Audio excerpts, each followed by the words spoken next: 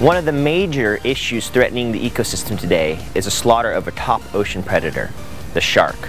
More than 70 million sharks are killed each year so their fins can be taken. After the fins are removed, the remainder of the shark is discarded into the sea. Sharks play a vital role in the marine food chain, and without them, our ecosystem is placed in jeopardy. Join us in the diving community in our commitment to ban the wholesale slaughter of sharks for their fins and to ban the sale of shark fin soup.